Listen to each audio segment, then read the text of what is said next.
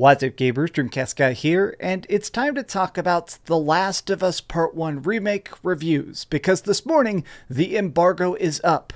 Every major website from Kinda Funny to Kotaku to IGN and GameSpot are now allowed to talk about their deep dive opinions on this very divisive remake. Now, I have to admit, the scores at some of these review sites are lower than I could have imagined. I was kind of expecting this to get a ton of 10s, and yet that really isn't the case, but I want to take a look at some of their happiness and some of their criticisms. Let's dive into it. Hope you're having a great day. If you could like this video and subscribe if you haven't already. Now, I am going to be doing my own review of The Last of Us Part 1 Remake on Friday. I have decided to buy the game for $70 myself before I review it just to see, honestly, from what I've witnessed myself, I think the game is a little bit overpriced, and I figured I should buy it in order to properly, you know, put my money where my mouth is. So, starting off, let's check out the Metacritic. As it currently stands, it's sitting at an 88 out of 51 Metacritic aggregate scores. So, 88 is a little bit of a lower average than the last couple entries. Last of Us Part 2 won like hundreds of game awards, uh, Game of the Year awards. Last of Us Part 1, obviously one of the most highly awarded games of all time. Both of those had exceedingly high Metacritics. This is not the biggest step down. I mean, 88 is still extremely good. That's definitely a passing grade, but it's lower, which is kind of shocking for a remake that's supposed to improve every aspect of it. Now, looking at a lot of the websites, you know, VG247, Kinda Funny, Inverse, PlayStation Universe, getting a lot of nines and tens. There's just these couple like eights and uh, 7.5s that drug it down a tiny bit. Now, let's face it, the biggest thing that I think a lot of us are buying this game for is not for the new gameplay. They've said straight up this is the exact same game pretty much. It's about these graphics. But let's take a look at it. So this little teaser trailer they released uh, over for uh, Digital Foundry. Digital Foundry does all these tech breakdowns. Their full video is actually fantastic, but I, I don't want to steal their stuff. Here's a great example, though, of what makes me most intrigued about playing The Last of Us Part 1 Remake is that a lot of these visuals, they've been able to recreate them in a fashion that just technically was not possible back in 2013. When they first made this game, it was, of course, designed for the very funky architecture of the PlayStation 3. Now they have the infinite power of the PlayStation 5. Looking at some of these, some of these shots here are extremely impressive. Especially this, the glow of fire, these like sunbeams look more realistic. I kind of sometimes like the harsh shadows. There's like there's much more of an edge to the PlayStation 3 and PlayStation 4 versions that the PlayStation 5 version doesn't quite have. Stuff like this, wow. Wow, yeah, okay. Oh, comparing it to Last of Us Part 1 to Last of Us Part 2, that's an interesting way to do it. Wow. So it's it's pretty cool.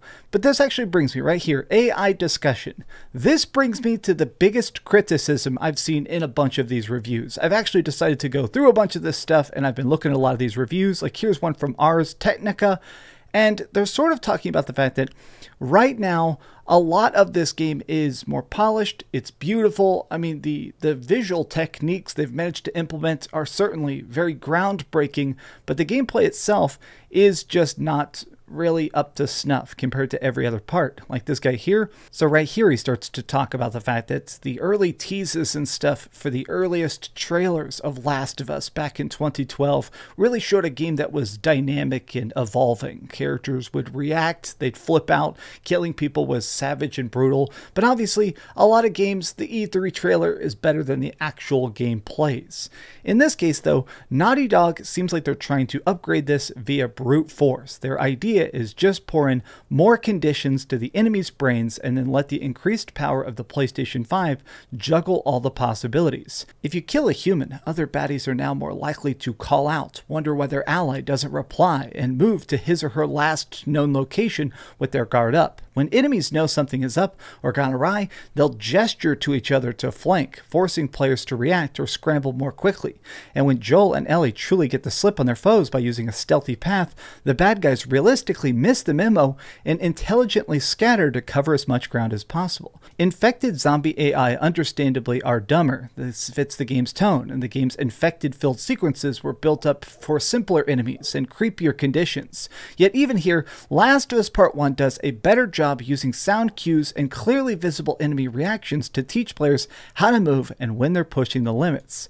Now, here's what's interesting is that a lot of people, though, are saying that this is something where the enemies don't feel as smart as you may hope. If you're looking for that groundbreaking experience that The Last of Us Part 2 managed to pull off, um, it sounds like this isn't quite that. It says right here that smarter enemies make this version of The Last of Us the best one yet, but those updates fail to address an issue with The Last of Us core.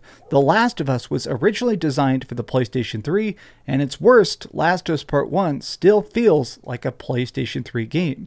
This is most evident whenever anyone takes their sweet time to complete a task, which was originally used to mask the PlayStation 3 era load times and to get textures and assets to pop on. The game asks you to hold on, slow down. It's basically so that boosting Ellie up onto a high platform or trying to spend 10 seconds opening a gate. It's so the game could typically try and actually load in extra assets. And so the fact that it still does that seems weird to this reviewer. Similarly, a ton of the game's progress takes place in painfully tight indoor spaces, while outdoor regions are inevitably closed off with fences, locked doors, and massive tangible trees as foliage. As a result, the game constantly slams its foot on the brakes every time its graphics begin to charm you with its upgraded environments.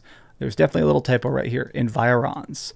Hmm, that's interesting. So that was my biggest thing is that I did want the game to feel bigger. Obviously now the game is done. It's just whatever we're getting is what we're getting. But my biggest thought was that if they ever decided to do an actual remake of The Last of Us Part 1, where they really put in their power to redo the levels and stuff to be more dynamic and large scale, I always thought that would be the biggest thing of all. Even if they kept that voice acting for another 10 years and the current models and stuff like that, I always wanted to just see more of the scope of Last of Us Part 2 replicated, at least in some fashion, in Last of Us Part 1.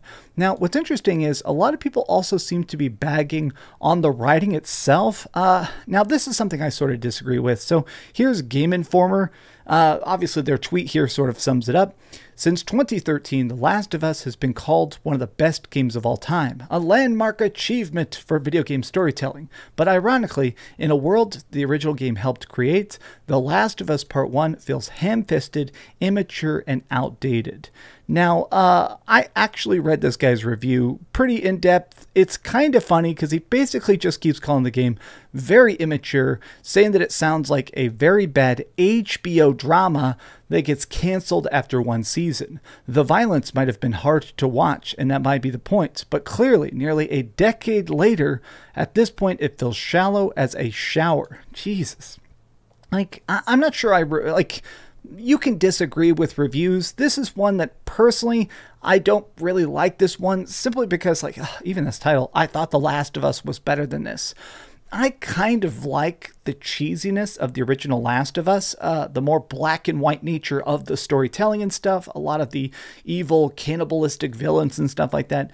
Hmm. It, it's just interesting that people are sort of looking back on this game in a more negative sense beyond just the beautiful visuals and stuff like that. Here's a 10 out of 10 review, though, that sort of counterbalances a lot of the criticisms that other people have been throwing out, which is from Video Game Chronicle, obviously VGC. And they said that if you can afford that $70 price tag, this is a stunning remake that is truly a triumph. The Last of Us Part 1 is the definitive version of one of the best games ever.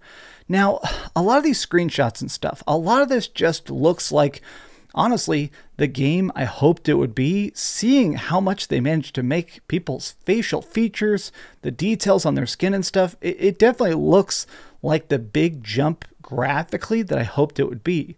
I do find it funny. So, just a couple minutes before I started filming this, uh, PlayStation dropped this weird blog post that sort of once again is explaining why they have to call this a remake and not a remaster. Like, like I'm not sure I've ever seen a game where two days before launch, right as the review embargo is up, they're still trying to almost convince you to buy the game. They're still trying to justify its existence. I feel like if these improvements were as drastic and giant as they claim they are, it would be more self evident. This does look good though. I mean, I have been looking at a lot of like these screenshots and stuff, these side by side comparisons especially. It is weird to me that Ellie is supposed to be a little kid. This almost looks like the adult version of Ellie shrunk down more. Like even her scar is more subdued. I always thought that scar was supposed to be more like apparent. Like Joel looks good, although Joel looks way the hell older. I think Joel is supposed to be my age, right? Isn't he? It, right here. Wait a minute. This is where he's older, but he looks younger. What the heck? Right? Last of Us Part One. I'm not. I'm not crazy. Right here, Joel is my age. This is this is me. Damn, this man aging like milk. Look at this. Wow, Bill looks fantastic. Wow, look at the detail on the eyes. That is just freaking bonkers. I have to say, obviously, I've already pre ordered the game. I am going to beat it. I am going to platinum it because I'm a dumb slut. But as it stands, I have to admit that these scores are kind of lower than I hoped. I, kind of hoped that this was going to be like a 93 on Metacritic. And let's face it, when this game comes out, it's definitely going to get review bombed on Metacritic. So uh, brace yourself for that. But what do you think about The Last of Us Part 1 remake? Are you excited for it? Does this seem like a Sony cash grab? Tell me your thoughts in the comments down below. If you enjoyed this video, give it a big old thumbs up, share with your friends, and subscribe if you haven't already. But do it the biggest favor of all, and keep dreaming. Thanks so much for watching that video. If you want to see something else, you can always click this link to see what I put up last, or, you know, subscribe and see what's coming up next. Also, I promise that whatever I do, it'll try not to suck.